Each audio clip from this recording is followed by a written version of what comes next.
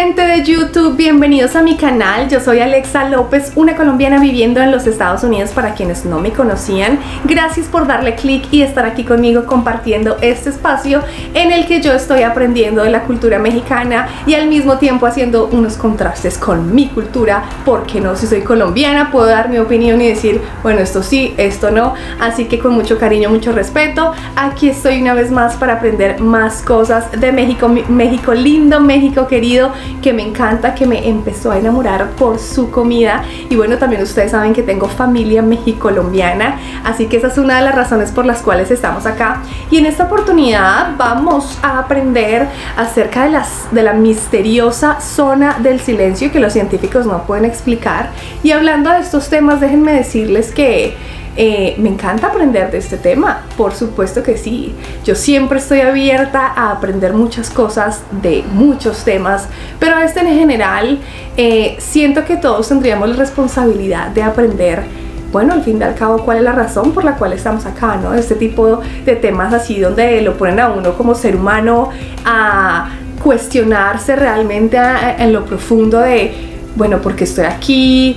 Eh, ¿Cuál es mi misión en este planeta? Eh, ¿Qué otras cosas tendríamos que aprender en general del universo y de todos estos temas extraterrestres? Pero es que la palabra extraterrestre simplemente significa fuera de la Tierra. Entonces hay muchas cosas que harían parte de este grupo de cosas extraterrestres. Me encantan estos temas, así que una, una persona, bueno, uno de ustedes me ha recomendado este video. Yo dije, pero por supuesto que sí, me encanta, me encanta.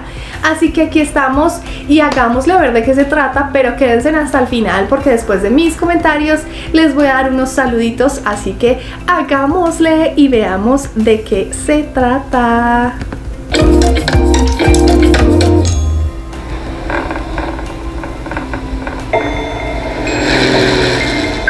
Piloto Francisco Sarabia volaba sobre un área de tierra desértica en México cuando sus instrumentos comenzaron a actuar de una forma cada vez más rara. Pero ese no fue el único problema al que se enfrentó. Su equipo de radio también comenzó a fallar. Desorientado y alarmado, el hombre tuvo que hacer un aterrizaje de emergencia en medio de la nada. Poco sabía que esta nada sería apodada más tarde la zona del silencio. Y el misterio detrás de este lugar sería igual al del infame Triángulo de las Bermudas. Si alguna vez te encuentras en un desierto, a 40 kilómetros de Ceballos, México, y solo a 650 kilómetros al sur de El Paso, Texas, prepárate Estás en la zona del silencio de Mapimí y algunas cosas extrañas podrían comenzar a sucederte inmediatamente. Como ya he mencionado, Francisco Sarabia descubrió la zona anómala en medio de un desierto en la década de 1930, cuando algo desconocido comenzó a interferir con las operaciones rutinarias de su avión. Pero a pesar de ser el primero, no fue el único que experimentó la inexplicable actividad en la zona. En 1964, la empresa estatal Pemex, que significa Petróleos Mexicanos, envió al ingeniero Harry de la Peña a explorar el desierto en esa región. El hombre tenía que averiguar si era posible construir un oleoducto que corriera a Jiménez, Chihuahua, en el norte de México. Sin embargo, esta expedición no resultó exactamente como se esperaba, y la principal razón de esto fueron las anomalías que afectaron a cada uno de los radios del equipo. Sencillamente no funcionaba. En absoluto. De hecho, Harry de la Peña fue el primero en darle el nombre a la zona del silencio. Curiosamente, el hombre quedó tan intrigado por esta misteriosa área que continuó regresando para averiguar más sobre la anomalía. Descubrió que las zonas muertas de radio no podían ser mapeadas porque parecían dispersarse por todo el lugar. Nadie podía explicar el fenómeno. Pero, gracias a los informes del ingeniero, la zona del silencio de Mapimi obtuvo su espeluznante reputación. Por otro lado, el extraño silencio de la transmisión por radio no es la única rareza de la escalofriante zona. Ah, no, hay otros misterios aún más desconcertantes. Como, ¿quiénes son ese trío extraño que los locales siguen encontrándose en la zona? Son dos hombres y una mujer, los tres rubios, lo que ya es raro para esa región. Curiosamente, cada vez que la gente los ve, usan ropa extraña que no es adecuada para un viaje por el desierto en lo absoluto. Los extraños no solo hablan español con la misma fluidez que los lugareños, sino que también son atractivos y educados hasta el extremo. La historia dice que el trío frecuenta un rancho y su motivo es siempre el mismo. Cuando llegan, no piden comida, dinero o refugio. Todo lo que necesitan es llenar sus botellas con el agua del pozo. Solo una vez, uno de los trabajadores del rancho se atrevió a preguntar a los visitantes de dónde eran, pero todo lo que recibió fueron tres sonrisas enigmáticas y las palabras de arriba. Pero eso no es todo. En octubre de 1975, dos cazadores de fósiles, Ernesto y Josefina Díaz, se dirigieron hacia la zona del silencio para recolectar tantas muestras raras y rocas inusuales como pudieran encontrar. Pero esta aventura no fue tan fácil como esperaban y casi terminó en un desastre. Inmersos en su trabajo, la pareja no se dio cuenta de una tormenta violenta que venía hacia ellos hasta que fue demasiado tarde.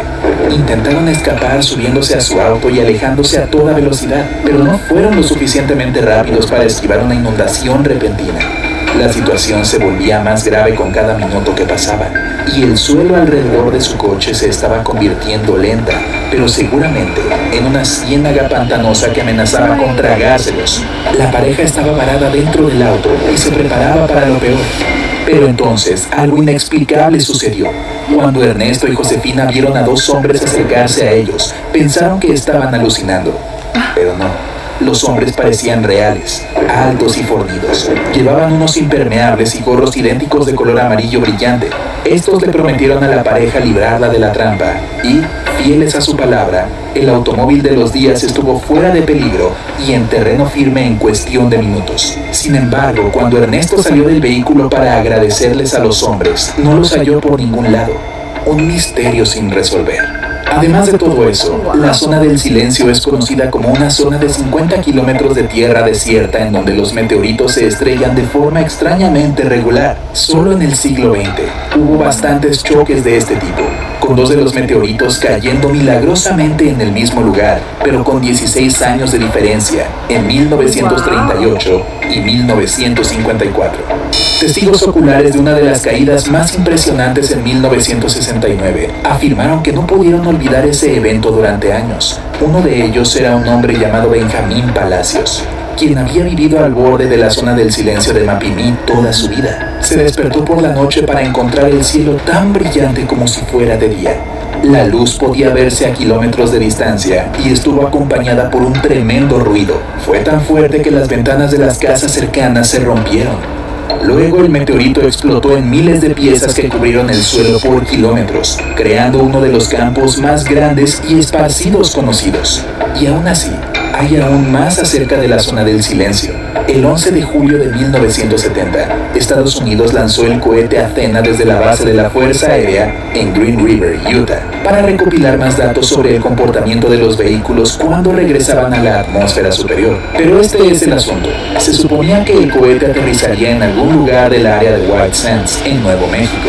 En cambio, se desvió y, como si fuera arrastrado por alguna fuerza externa, se estrelló justo en el corazón de la zona del silencio. ¿Fue una coincidencia una irregularidad estrafalaria? Las autoridades estadounidenses solicitaron permiso para recuperar los restos del cohete y el gobierno mexicano les concedió acceso al sitio. Pero en el proceso, el equipo de búsqueda pudo notar que algo estaba manipulando todas sus comunicaciones. Por eso fue increíblemente difícil coordinar el trabajo de los equipos. Además de las señales de radio interrumpidas, las personas también tuvieron problemas con las señales de satélite y televisión. Algunos teóricos incluso supusieron que los fuertes campos magnéticos en el área de alguna manera habían creado una, así llamada, zona oscura para las tecnologías modernas. Todo suena muy, muy misterioso pero vamos a averiguar qué hay detrás de estas historias. Comprensiblemente los científicos han intentado explicar las cosas que suceden en la zona del silencio por años. La conclusión más verosímil que han sacado hasta ahora es la influencia de los minerales que se depositan en las profundidades del subsuelo. Por ejemplo, algunos científicos están seguros de que los altos niveles de magnetita y uranio en el área pueden ser responsables de la falta de señales de radio. Además, como recordarás, la zona del silencio está cubierta con escombros de los meteoritos caídos, que suelen ser ricos en hierro y en otros También podrían ser la razón de las anomalías de señal en la zona. Por otra parte, algunos expertos no están de acuerdo en que la zona del silencio atraiga más meteoritos que cualquier otro lugar en la Tierra. También afirman que no hay pruebas suficientes para demostrar que algo paranormal o inusual está sucediendo ahí. Como dicen, todos los rumores sobre la naturaleza anormal de la zona son exagerados y ridículos. Pero incluso los escépticos no pueden negar que ha habido casos de pérdida de comunicación de radio y manipulación de señales extrañas. Por el otro lado, este fenómeno puede tener otra explicación racional. La zona del silencio está rodeada por una cadena montañosa que puede causar interferencias fácilmente. En cuanto a las misteriosas personas amigables que caminan por el desierto, los expertos están seguros de que no son más que una leyenda urbana, creada para atraer a las almas curiosas y desarrollar el turismo local. Pero incluso sin estas historias y leyendas que hacen helar la sangre, la zona no es nada menos que maravillosa. Los científicos dicen que el ambiente del área es genuinamente único con sus propias especies de flora y fauna. Por ejemplo, puedes encontrar 31 tipos de plantas que solo crecen en esta región, así como 75 especies de animales protegidas, incluida la tortuga del desierto, que tiene el estado de vulnerable en la actualidad. Además, el lugar está lleno de fósiles que pueden arrojar luz sobre la historia de la región. No es de extrañar que, en 1979, la zona del silencio se convirtiera en parte de la Reserva Biosfera de Mapimí, Bolsón de Mapimí, con un laboratorio construido junto a la cordillera Cerro San Ignacio. Bueno, ¿conoces algún otro lugar misterioso en nuestro planeta? Házmelo saber en los comentarios. México ha sido protagonista de muchos eventos, entre comillas, paranormales. Y creo que este es solamente uno de los lugares por los cuales se ha caracterizado pues de tener este tipo de cuestiones, como lo habíamos nombrado antes, un poquito diferentes o que no tienen una explicación dentro de las leyes que conocemos en el planeta Tierra. Eh, indiscutiblemente México por sus raíces ancestrales tiene una gran historia conectada justamente a los diferentes dioses que tenían, a los ritos, inclusive y la parte más importante, las pirámides, que en pleno siglo XXI seguimos sin entender cómo estas personas tenían la tecnología y el conocimiento astronómico, arquitectónico y de materiales que utilizaban para construir estas grandiosas pirámides, porque no solo era la construcción de las pirámides, sino cómo estaba conectada con los astros, con el sol, con el mensaje que quería, no, o sea, todo un tema. Entonces yo sé de antemano que México ha sido uno de estos lugares que pues tiene la oportunidad de justamente representar todos estos fenómenos en diferentes maneras y en esta oportunidad que lo estamos viendo con la zona del silencio. Em, si ustedes me lo preguntan a nivel personal, yo creo que uno tiene que encontrar un equilibrio, como todo en la vida. Eh, no se puede ir uno por el lado de, no, es que solamente es lo que me han dicho y esto es la única realidad. No, somos seres humanos en un proceso de crecimiento de miles de cosas que nos hacen falta descubrir en este planeta y pues peor aún lo que hay afuera, ¿no? Yo siento que es un proceso que se va a tomar mucho tiempo porque como pudimos ver, los medios de comunicación con los que contábamos antes solamente nos mostraban lo que ellos querían por medio del cuadradito que toda la familia veía y lo que decía el cuadradito que es el televisor era lo que teníamos que creer. Hoy en día por lo menos tenemos estas otras eh, estos otros recursos alternativos en los que podemos tener otro tipo de información, pero antes no. Entonces, obviamente, si hay muchas cosas que no nos quieren, que no nos quieren decir, muchas cosas que nos esconden, incluso de nuestra historia como humanidad y que justamente dicen cosas como, ah, es una leyenda, ah, no pasa nada, oh, sí, esos eran los antiguos, la gente que, que eran como trogloditas. No, no, no es cierto, explíquennos, muéstrennos, díganos la verdad. ¿Por qué nos esconden tantas cosas? ¿Por qué no nos muestran muchas otras de lo cual ya hay evidencia? Todo este tipo de fenómenos que suceden en diferentes partes del mundo y todavía pretenden que la gente siga creyendo lo que han creído por un montón de tiempo o sea, es un proceso, es un proceso que tenemos como humanidad, pero me encanta que justamente todos estos lugares estén aquí, en esta zona del silencio, que aparte de tener estas historias, pues también es un lugar hermoso que cuenta con muchas, mucha riqueza de flora y fauna, así que me encanta ese tema también, muy chévere. Eh, estos seres, estos seres, no sé, yo pensaría que, o bueno, esta es mi opinión personal, cada quien puede creer lo que quiera, eh, yo pienso que el universo es muy grande, es demasiado vasto. Nosotros vivimos en una galaxia eh, donde hay un planeta que conocemos que tiene vida y es este, pero ustedes saben cuántas otras galaxias existen y si por cada galaxia que hay existe nada más un planeta, dijéramos, pues imagínense entonces cuántas otras especies de humanos, obviamente que lucirían un poco diferentes a nosotros, pero tendrían otro tipo de recursos eh, y de, se verían diferente.